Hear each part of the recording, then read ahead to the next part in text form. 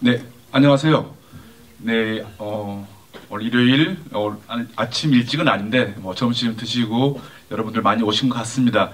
어, 오늘 그 스웨덴 클래식 그 프로그래밍을 한 부산국제 단편 영화제 프로그래머 이상훈입니다.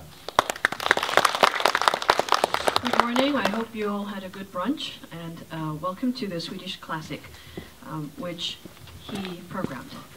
Uh, he's the programmer Lee Sang-hun. 사실 이번 그 스웨덴 클래식 프로그래밍은 제가 영화제에서 일을 하면서 가장 힘들었던 프로그램입니다. 이유는 아시겠지만 아주 오래된 영화들을 찾기가 쉽지는 않았었고요.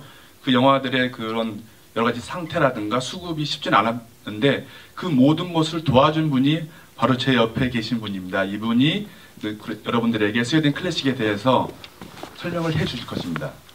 Out of all the programs that I've been preparing for this film festival, the Swedish Classic was the most difficult because a lot of them are old films and they were hard to find and they were also not always in the best, best of conditions.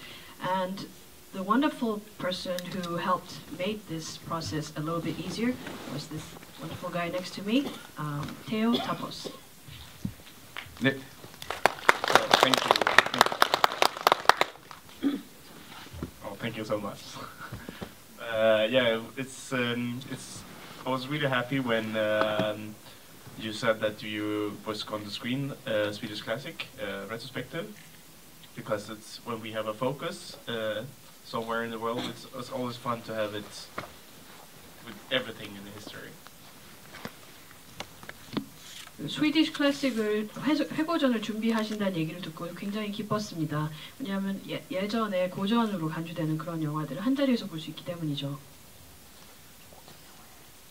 Yeah, but and uh, some of the films uh, were really hard to find, uh, even for us. That um, we the, the Swedish Film Institute that have all the films, but we had to look in our archive and find everything, and it was really hard. But hopefully, it would look okay. Some of them are old 35 millimeters prints. 네, 말씀하신 것처럼 일부 영화들은 정말 찾기 힘들었습니다. 그 스위디시 영화 아, SFI 스위디시 필름 인스티튜트에서 모든 영화를 다 갖고 있음에도 불구하고 저희 보관실에서 찾는 작업만으로도 굉장히 어려웠습니다. 그리고 또 일부 영화는 35mm로 된 아주 오래된 필름들이었고요. Oh, uh, when we had these similar screenings in other countries, uh, we it's most often other films that are screened. Uh, one of the films, uh, The World of Glory by Roy Andersson, it's more or less screened everywhere because everyone loves this, that film. But it's really fun that you included a, a lot of films by Ingmar Bergman because his films are most people uh, uh, only know him know him for his features, not his shorts.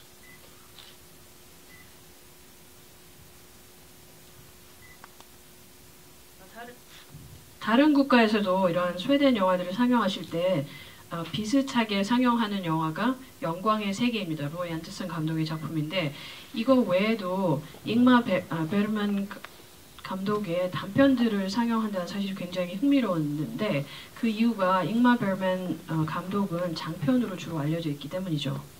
It's fun to screen these films as well because um, it shows that uh, the directors that made these films are more or less the masters of Sweden.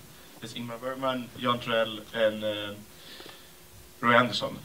And um, I think the only one that uh, the only film in the program that is a first film, more or less, is Roy Andersson's World of Glory. Uh, but that and the other films are films made in the middle of their careers. So it's not the that they started with short films. They made features and then went back to short film and features again. So it's fun to screen. It's a really nice program you put together. 지금 선택하신 작품들이 굉장히 흥미로운 그런 컬렉션을 준비하셨는데 어, 바로 잉마 벨만이나 어, 얀 트로웰 또는 로이 앤더슨 같은 감독들은 스웨덴 영화의 대가들입니다. 그래서 대부분은 어, 그 첫 영화를 보여주시는 게 아니라 그 유일하게 첫 작품으로서는 로이 앤더슨의 영광의 세계가 있는데 그 외에 감독들 같은 경우는 장편을 이미 몇 편 만드시다가 중간에 단편을 만든 거를 여기서 또 상영을 해주시는 거라서 프로그램을 정말 잘 짜셨다고 아, 말씀드리고 싶습니다.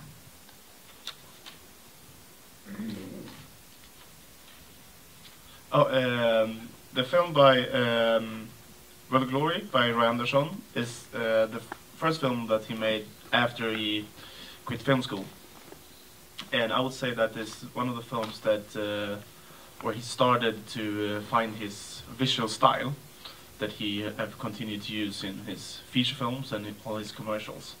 So. Um, and the first time it was screened, it was uh, the was it's opened the Göteborg Film Festival, I think in 1990. Um, 87, it might, it might have been. Um, and at the first screening, nobody actually liked it. But since then, I think it's been screened at I can't say how many festivals, but around the world every year since since then. 로이 앤더슨 감독의 영광의 세계 같은 경우는 영화 학교를 자퇴하고 나서 가장 처음 만든 영화입니다. 그래서 이 영화에서부터 로이 앤더슨의 비주얼 스타일을 찾아서 그 후에 만든 장편이라던가 광고에 계속해서 사용하게 되었고 그리고 제 기억으로는 87년에서 90년 사이쯤에 예터보의 영화제에서 사- 처음 상영됐습니다. 그때는 이 영화가 좋다고 한 사람은 단 한 명도 없었는데 그 이후에는 이 영화가 정말 많은 영화제에서 상영되어 오고 있습니다. we struggled a lot with this program, uh, and we uh, I tried to uh, convince um, to uh, have some other films as well, but it was they were really more or less harder to find. But I like that it's a lot of uh, Ingmar Bergman, and one of my favorites um, that we have screened that is the like the only short film that is known by Ingmar Bergman is uh, Karin's Face. Uh, it's a short about his mother, and um, he made that quite late in his career, which was kind of fun. So he didn't start with shorts. He, I think he started definitely with features. 이 프로그램에서 다른 작품도 상영을 하고 싶었으나 찾기가 정말 어려웠습니다. 그래서 아까 말씀드린 것처럼 프로그램을 준비하는데 어, 애를 많이 먹었고 그리고 어, 저는 개인적으로 잉마 벨맨의 단편들을 많이 상영할 수 있어서 굉장히 기쁩니다. 그리고 근데 이제 여러분들 같은 경우도 임- 잉마 벨맨의 단편 중에서 아마도 유일하게 많이 그나마 많이 알려진 작품이 카린의 얼굴입니다. 그래서 카린의 얼굴은 어, 잉마 벨맨의 어머니를 다룬 어머니의 얘기를 다룬 작품이고 그리고 장편을 굉장히 많이 만들고 나서 한참 후에 만든 그런 작품입니다. Uh, we end the program with no, we end the program with Anderson, but um, no, with Jan Trell, and Jan Trell is uh, well our one of our living masters in Sweden. He's done a lot of films, and he have he's always worked with shorts uh, throughout his career. Uh, his latest film is a short that he made. I think is finished last week, um, and he, now he's, I think some 85 or something. I'm not sure. Yeah. Yeah. 85. Uh, wh- When uh, when I talked to his producer uh, about these two films that was gonna screen here, uh, he just said he said, uh, he's always say yes to all the screenings, but he also said, okay, uh, maybe I can screen 10 mo- more films. You can screen all my shorts. 그리고 마지막에 보실 작품의 감독은 얀 트로엘입니다. 그래서 이분은 아직도 살아계신 그런 대가이시고 현재 여든 아, 만 여든 다섯 살입니다. 그런데 단편만을 고수해 오신 감독입니다.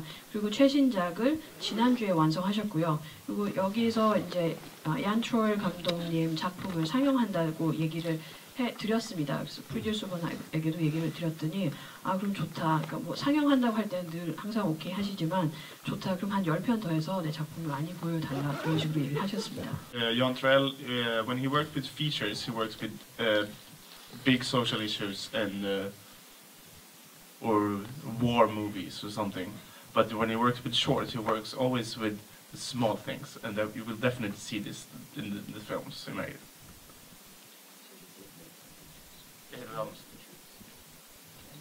John Trell made maybe I think 15 features and I don't know how many shorts. I don't. I don't. I don't think he knows either. 네, 아까 제가 통역한 것 정정하겠습니다.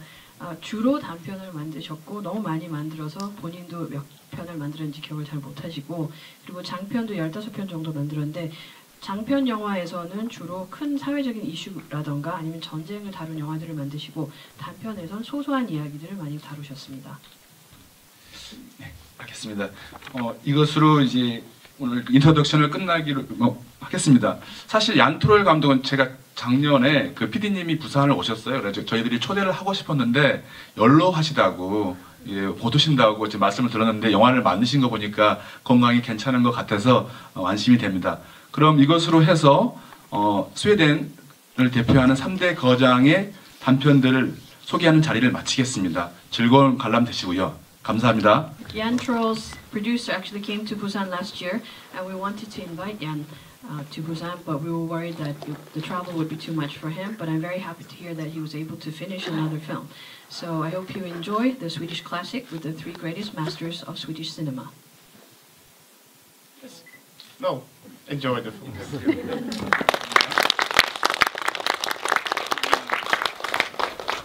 작년에 그 인기를 얻었던 영화인데요. 창문 너머 도망, 도망친 백세 노인이라는 이 책입니다. 이게 두 분한테 드려야 되는데 yes, yes, yes, and yes. 오케이. 예, 저쪽 분, 예, 예 그분하고 예, 예.